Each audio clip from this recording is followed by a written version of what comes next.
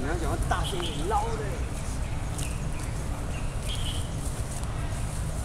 哦，哎呦，哦，哎，哎呦，哦，哎呦，贫血。哎呦，该怎么办呢？哈，找他，他是谁？他，就是我们今天呢要介绍的重点——暹罗铁线。也许大家对它不会感到陌生，因为呢，这个暹罗铁线是著名的园艺植物。有没有看到它这个红红的叶子就知道了？多么讨喜呀！这个暹罗铁线呢，是属于灌木类的，哈，就跟我一样高而已啊！看看，就这样子一样高而已，嗯。然后呢，来，摄影师，看分支，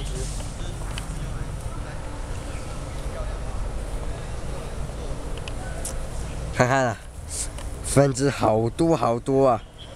它就是灌木嘛，然后看这个分支点呢。也非常非常的低。好，那么现在呢，看它的枝条白白的，嗯，好，我们现在把重点呢放到叶子上面。这就是仙楼铁线的叶子，啊，看到没有？它的叶子呢是属于互生的叶子，然后在嫩叶的时候，啊，嫩叶时候，有吗？呈现十分美丽的红色。看到吧，红色的，而且上面又有披的一些星状毛。什么叫星状毛啊？哎，反正就像星星一样的绒毛就对了。这个，然后呢，你看它的叶缘呢，有一些锯齿，这就是所谓的锯齿缘。然后在成叶部分呢，你看虽然叶面变成了呃绿色，可是它叶背哦，还是美丽的。红色，别小看暹罗铁线，它呢，除了当园艺植物之外，还有其他的功能。来看它的叶子，它的叶子啊，可以治疗一些像牙龈出血啦，或者是说像我刚刚出现的那个状况，贫血，或者是咳嗽，还有中暑。而在这个其中呢。最常用的是它的根，来看它的根这个地方，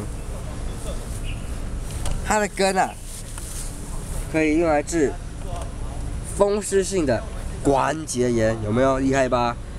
然后它的茎，还有叶，对皮肤的一些溃疡或者一些呃创伤啊呀有效果。然后至于它的花呢，可以治疗拉肚子。或者是吐血的状况。好，还在重点，它，然后它的花，它呢是雌雄同株，可是异花，也就是说啊，它会开出雄花跟雌花，它是属于这个穗状花序，就像稻穗一样的穗状花序。至于它的果实呢，等到这个花序掉落之后。